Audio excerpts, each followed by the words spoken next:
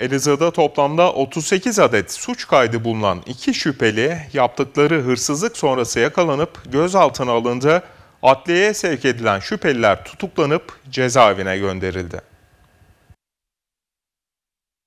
İl Emniyet Müdürlüğü'ne bağlı Asay Şube Müdürlüğü ekipleri Elazığ Cumhuriyet Başsavcılığı koordinesinde kentte meydana gelen faili meçhul hırsızlık olaylarının aydınlatılması ve şüphelilerin yakalanması yönündeki çalışmalarını sürdürüyor.